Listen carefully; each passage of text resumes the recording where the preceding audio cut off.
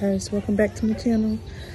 I am officially 38 weeks and the baby is still in a transverse breech position so i'm trying everything i can to get him to flip around.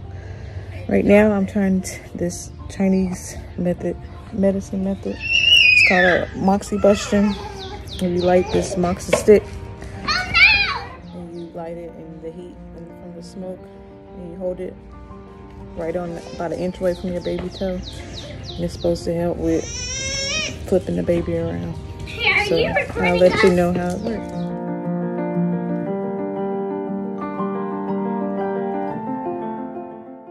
So I hold the moxie stick right here for about 10 minutes on each side. And I do that a few times a week.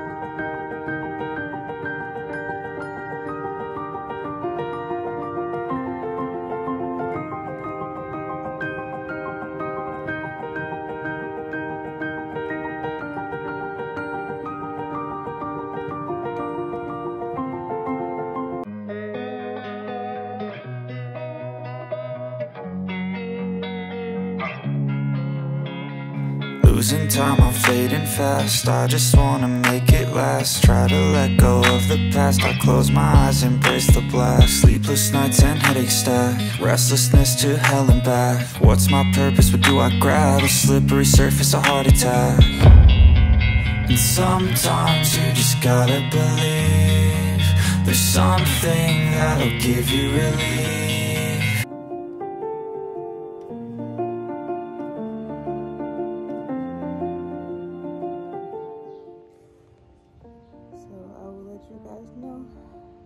visit next week if we're around.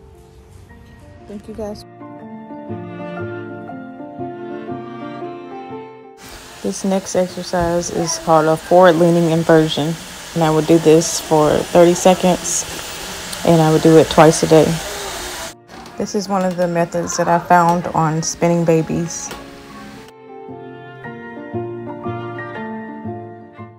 I also was going to see a chiropractor that specializes in pregnant women turning breech babies.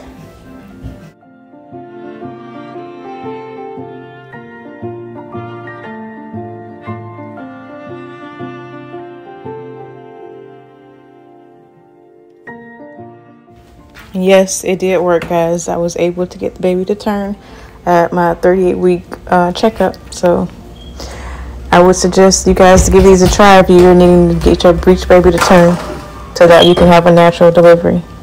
Thank you guys for watching my video.